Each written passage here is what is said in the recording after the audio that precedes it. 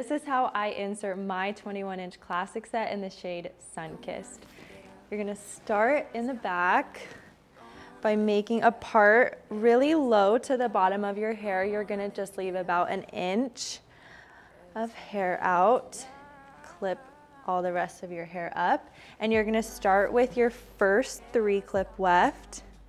And I usually like to start with the middle clip and then work my way out and secure the outside too. And you're gonna take your hair down and make another small section just right above that last weft. And do your second three clip.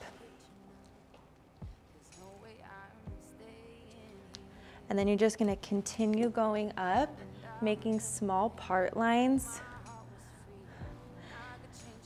And now you're gonna go to your four clip wefts. And there's one four clip that is slightly longer than the other and you're gonna use the smaller one first and start again with the inner clips, then go to the outer. That way you can make the wefts a little bit more tight against your scalp.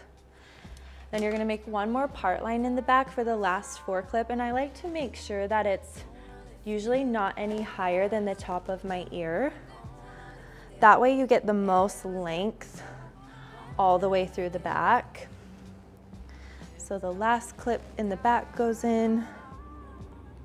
So that is the four wefts that go in the back. That's gonna give you the most of the hair. And then you're gonna start in the front on either side. And I like to make a part line at my temple all the way to the back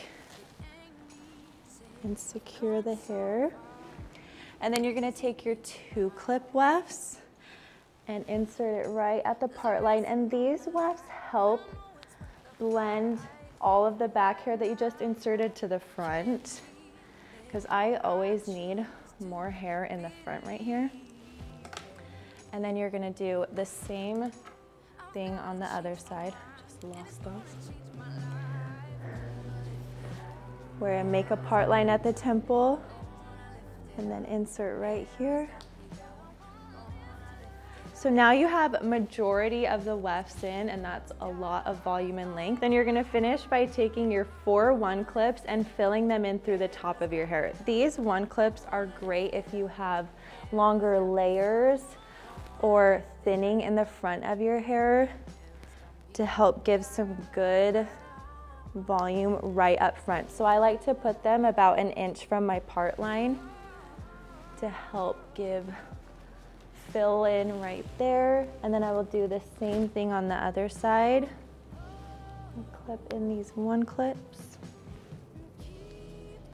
And that is all 10 wefts of a classic set. You can shop the BFB classic set today.